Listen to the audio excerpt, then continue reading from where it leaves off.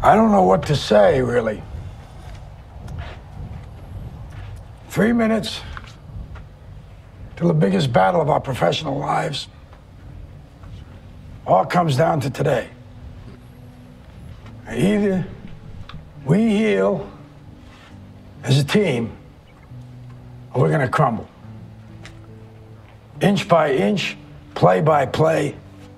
What's up, good people? Mark Holmes here, and as always, I want to say thank you all for watching, commenting, subscribing, and being part of the Joe Jobu Sports Report. Without you guys, as well as you ladies, you know that this literally does not work. Hope you guys tune in in about uh, an hour and 50 minutes for our live stream, 9 o'clock Eastern, where we'll be talking about what are the Dallas Cowboys doing.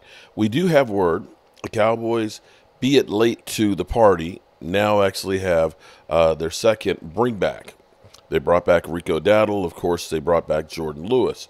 Um, I think these are actually good moves, quite honestly. Um, now, at least we have two running backs on the roster, and these are not real, real expensive ones. Uh, Jourdan Lewis knows your system, knows your guys, knows Al Harris, and he'll be another year removed from the ACL. Uh, was it ACL? I can't remember from from the injury. I can't remember what the injury was. We've had so many injuries lately. Like you know, guys are recovering from it, but we didn't do a Michael Gallup and sign him to a big, big deal. It's only like a $2.4 million contract, which should be able to leave you with enough money to be able to bring back a Stephon Gilmore. And I believe that our back end is actually in really good shape. And if we can, now that we've got Eric Kendricks, if we can add another linebacker to the mix, if uh, Overshown comes back, you know, uh, not having lost too much from his ACL, your linebacking corps might be okay the big question will be is will they ever get any money together? And I'm going to say for people who are tired of Dak Prescott and want him out of here, even though you may have been looking around at all of those first round drafted quarterbacks that have been literally playing musical chairs and giving away for a song. We even have one of those guys here in Dallas in Trey Lance. You know, we're talking about the Mac Joneses, we're talking about the Zach Wilson. Zach Wilson is so bad. How bad is he? They're talking about they may have to take trade him and one of their picks to somebody else just to take them off their hands. That actually is a better move than them taking the cap hit.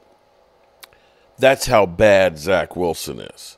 You know, you can look at the Sam Darnolds, who's he's doing the Ryan Fitzpatrick tour of playing for teams, literally paying for everybody. You've seen Jimmy G, who's now gone back to uh, to the Rams. Is he? Got, I think he's gone to the Rams, and of course Kirk Cousins going to uh, the Atlanta Falcons. Um, it's just been crazy. All of these first round drafted quarterbacks that are all over the place, and yet we have Cowboy fans that say just trade him, just, just get rid of him. He's a bum.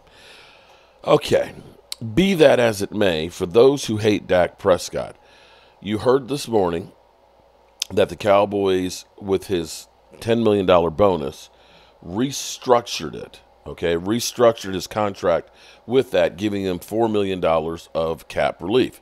Now, here's the good news is if they don't work out a long-term deal, they could continue to restructure. The only problem with restructuring is you're just putting that money off until the future.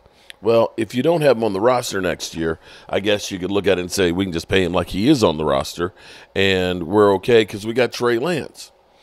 But here's where it's interesting because what we found out is Dak Prescott has to be involved in the restructuring. He basically has to give the thumbs up and the okay for them to do that. And what they did was they added two more voidable years, which means they could stretch out and put some more money elsewhere. So, in, in a way, what you're actually getting is Dak Prescott and the Cowboys are communicating.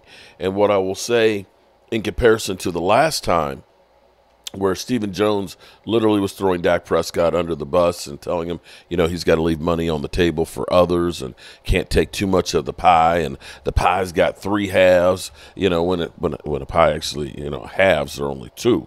But be that as it may, they are communicating each way.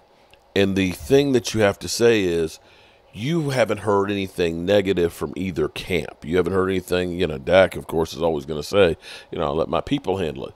But you haven't heard the Cowboys, which typically, when it comes time to pay somebody, are usually kind of throwing them under the bus.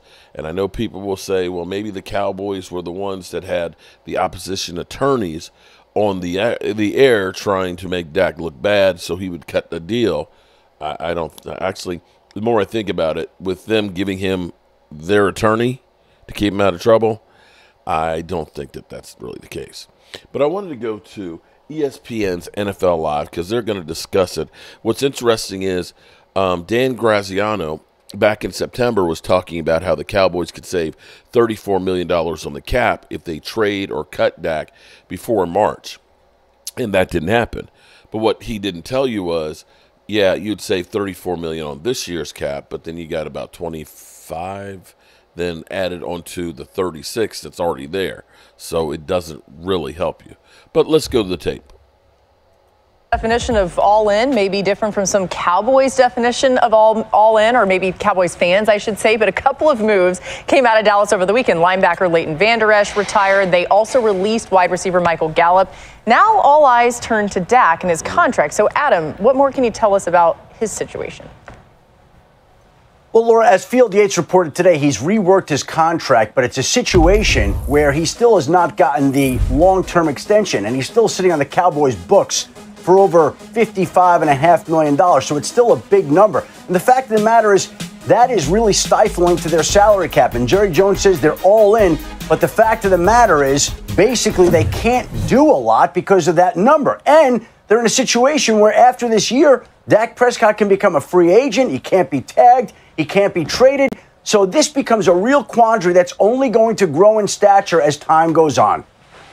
Yeah, reallocating four million of the fifty-nine million dollars that they're dealing with there. Mina, what do you think about the Cowboys not committing to a long-term deal with Dak? It has to say something, right?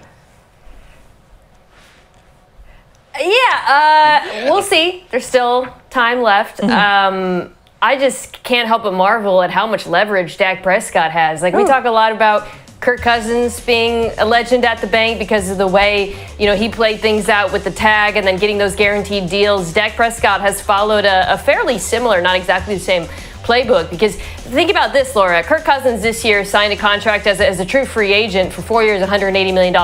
If Dak Prescott had been a free agent this offseason, $50 million a year easily. If he's mm. a free agent next year, I can only imagine the kind of money he were to get if he were to play next year at the same level he played at during uh, the regular season. I realize that's an operative uh, word, that phrase there, uh, this mm. year. Um, and to that end, there's no reason why he should take any sort of discount from the Dallas Cowboys, especially given, as you guys laid out, his contract uh, does, and the current cap hit does prevent them from doing certain signings and, and spending their money. Uh, from Dallas's perspective, I'll say this the likelihood that they would move on from Dak Prescott and improve at the quarterback position is very, very low. Coming mm. off of this show where we're talking about how desperate Minnesota is now and the kind of trades they'd be making, and it's still just a shot in the dark in the draft. Dallas has one of those quarterbacks that every team wants. And so I feel like they should be motivated to get something done. I don't know if they will based on how this is dragged out. And uh, Dak Prescott has all the leverage in the world.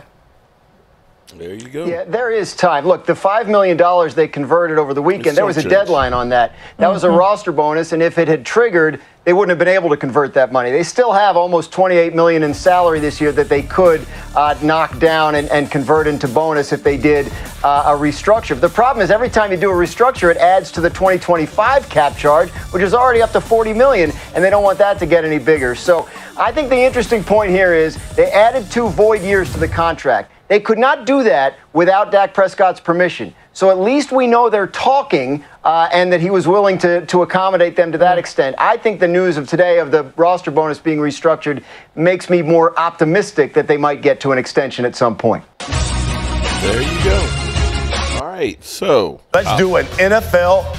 Okay, so there you have it. You know, in the end, Dak needs the Cowboys for this season, and the Cowboys need Dak. And if Dak has to realize that, you know, I need to do a deal that allows them to try and field the best team possible. And let's see what happens between the two. Hopefully, they're having a come to Jesus moment where Dak says, "Look, I'm I'm I'm, I'm good. I've got my, my my girlfriend. I got my baby. I got money in the bank. You know, I don't want to be disrespected." But I want to win a Super Bowl, and I need you guys to be on the same page for me to give you guys a home team discount. We'll have to wait and see how it works out. But as always, I appreciate each and every one of you guys. Peace.